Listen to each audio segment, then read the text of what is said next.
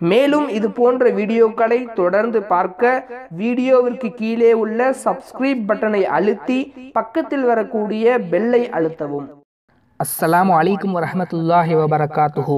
சகோதரர்களே நபி ஸல்லல்லாஹு அலைஹி வஸல்லம் அவர்களுடைய அழகை பற்றியும் அவர்களுடைய உருவ அமைப்பை பற்றியும் ஏராளமான ஹதீஸ்களில் காணப்படுகின்றன.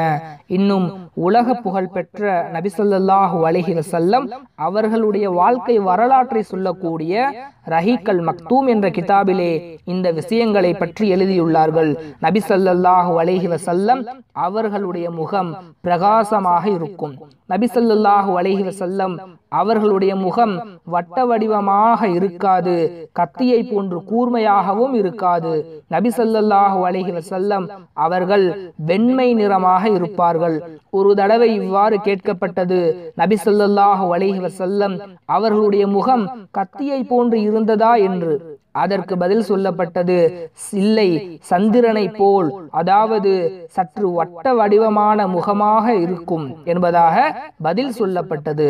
ஜாபீர் பின் சமூரார் அலி அல்லாஹ் வன்ஹு அவர்கள் சொல்லுகிறார்கள் ஒரு நாள் இரவிலே நபி ஸல்லல்லாஹு அலைஹி வசல்லம் அவர்களுடைய முகத்தை நான் பார்த்தேன்.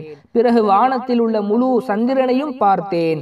பிறகு நபி ஸல்லல்லாஹு அலேஹி வசல்லம் அவர்களுடைய முகத்தையும் பார்த்தேன். பிறகு மீண்டும் வானத்தில் உள்ள முழுமையான சந்திரனையும் நான் பார்த்தேன். இப்படி மாறி மாறி பார்த்து கொண்டிருந்தேன். ஆனால் வானத்தில் உள்ள முழு சந்திரனை விட நபி ஸல்லல்லாஹு வசல்லம் அவர்களுடைய முகம்தான் மிகவும் பிரகாசமாக இருந்தது என்பதாக இந்த சஹாபி சொன்னார்கள். இன்னும் சில ஹதீஸ்களில் சொல்லப்பட்டுள்ளது நபி ஸல்லல்லாஹு வசல்லம் அவர்கள் சிரித்தால் அவர்களது முகம் ஒளு ஒளி பொருந்தியதாக பார்ப்பவர்களுக்கு சந்திரனை போன்று இருக்கும் என்பதாக சொல்லப்பட்டுள்ளது. நபிசல்லாஹ் வலகி வசல்லம் அவர்கள் அழகிய குணம் பெற்றவர்கள். அவருடைய வயிறு பெருத்ததாகவும் இருக்காது தலை பெரியதாகவும் இருக்காது. அதே போல தலை சிறியதாகவும் இருக்காது நடுத்தரமாக இருக்கும். நபிசல்லாஹு அலஹி வசல்லம் அவர்கள் நெட்டையாகவும் உயரமாகவும் இருக்க மாட்டார்கள் மிக குட்டையாகவும் இருக்க மாட்டார்கள். ஆனால் கூட்டத்தில் பார்ப்பதற்கு நடுத்தரமான உயரம் உடையவர்களாக இருப்பார்கள். நபிசல்லாஹு அலஹி வசல்லம் அவர்களுடைய புருவம் கருமையாக இருக்கும். அவர்களுடைய இமை முடி நீளமாக இருக்கும். அவர்களுடைய குரல் வளம் கம்பீரமாக இருக்கும் சற்று உயரமான கழுத்து உள்ளவர்தான் நபிசல்லாஹு அலேஹி வசல்லம் அவர்கள். நபிசல்லாஹு அலேஹி வசல்லம் அவர்களுடைய கண்ணில் உள்ள கருவிழி கருமையான அதாவது கருங்கருப்பாக இருக்கும். நபிசல்லாஹு அலேஹி வசல்லம் அவர்களுடைய புருவம் வில் போன்று வளைந்து இருக்கும். அவர்களுடைய இரு புருவமும் இணைந்தது போன்று ஒட்டி இருக்கும் நபி ஸல்லல்லாஹு அலைஹி செல்லம் அவர்களுடைய கண்ணில் சுருமாயிட்டதை போல இருக்கும். ஆனால் நபி அவர்கள் சுருமாயிட்டிருக்க மாட்டார்கள். நபி ஸல்லல்லாஹு அலஹி வசல்லம் அவர்களுடைய வெள்ளை விழி பால் வெள்ளையாக இருக்கும். அதில் ஒரு சிகப்பு கோடை கூட நம்மால் பார்க்க முடியாது. நபிசல்லாஹு அலஹி வசல்லம் அவர்களுடைய தலைமுடி கருமையாக இருக்கும். அடர்த்தியான சுருட்டை முடி உடையவரும் அல்ல கோரை முடி உடையவரும் அல்ல. கோரை சுருட்டை இரண்டிற்கும் நடுத்தரமான முடி கொண்டவர்தான் நபிசல்லாஹு அலஹி வசல்லம் அவர்கள். நபிசல்லாஹு அலிஹி வசல்லம் அவர்கள் குண்டாகவும் இருக்க மாட்டார்கள் மிகவும் ஒல்லியாகவும் இருக்க மாட்டார்கள் நடுத்தரமான உடல் அமைப்பை கொண்டவர்களாக இருப்பார்கள். நபி அவர்களுடைய தலைமுடி அவர்களுடைய காது சோனை வரை இருக்கும். நபிசல்லாஹு அலிஹி வசல்லம் அவர்கள் நடுமாங்கு எடுப்பவர்களாக இருந்தார்கள்.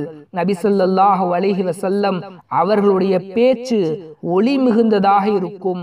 நபி அவர்களை தூரமாக பார்த்தால் அழகு பெற்றவர்களாக இருப்பார்கள். அருகில் சென்று பார்த்தால் பழக இனிமையானவர்களாக இருப்பார்கள். இனிமையான முறையில் பழகக்கூடியவர்களாக இருப்பார்கள். நபி அவர்கள் பேசினால் தெல்ல தெளிவாக பேசுவார்கள். நீளமாகவோ சுருக்கமாகவோ இல்லாமல் நடுத்தரமாக பேசுவார்கள். அவர்களுடைய பேச்சு மணி மாலை உதிர்வது போல இருக்கும். மூன்று நபர்கள் நடந்து சென்றால் அதில் பளிச்சென தெரிபவர்கள் நபிசல்லாஹு அலேஹி வசல்லம் அவர்கள்தான். நபிசல்லாஹு அலேஹி வசல்லம் அவர்களுடைய நெஞ்சில் இருந்து தொப்பு வரை தொப்புள் வரை ஒரு கோடு போன்ற முடி இருக்கும். அவர்களுடைய நெஞ்சில் இருந்து தொப்புள் வரை ஒரு கோடு போன்ற முடி இருக்கும். உடம்பில் வேற எந்த பகுதியிலும் முடி இருக்காது. நபி அவர்கள் நடந்தால் பள்ளத்தில் நடப்பதை போன்ற பிடிப்போடு நடப்பார்கள். திரும்பி பார்த்தால் முழுமையாக திரும்பி பார்ப்பார்கள். பிறர் நபி அவர்கள் என்னை பார்த்தார்களா? என்ற சந்தேகம் வராதபடி அவரை முழுமையாக திரும்பி பார்ப்பார்கள். நபி சொல்லல்லாஹு அலைஹி வசல்லம் அவர்கள் தூதர்களில் இறுதியானவர்கள் மக்களில் மிக அதிகம் வழங்கும் கொடை வல்லல் மக்களுடைய பொறுப்புகளை நிறைவேற்றுபவர் சிறந்த கண்ணியம் வாய்ந்தவர். அவர் பேசினால் அவருடைய பேச்சுக்களை அனைவரும் கேட்பார்கள். அவர் ஆணையிட்டால் அனைவரும் நிறைவேற்ற அந்த ஆணையை நிறைவேற்ற ஆசைப்படுவார்கள். அவர் கடுகடுப்பாக பேசுபவரும் அல்ல பிறரை குறைவாக மதிப்பிடுபவரும் அல்ல. சுபஹானுல்லா இவை எல்லாம் புகாரி முஸ்லிம் திர்மிதி மிஸ்காத் இபுனி ஹிசாம் போன்ற இன்னும் பல்வேறு கிதாபுகளில் உள்ள விஷயங்களாகும். இந்த ஹதீஸ்கள் எல்லாம் உலக புகழ்பெற்ற ரஹீக்கல் மக்தூம் என்ற நபிசல்லாஹு ஸல்லல்லாஹு அலைஹி அவர்களுடைய வாழ்க்கை வரலாற்று கிதாபுகளில் தொகுக்கப்பட்டுள்ள விஷயங்களாகும். சந்திரனும் தாரகையும் பார்த்து திகைத்து நின்றதே.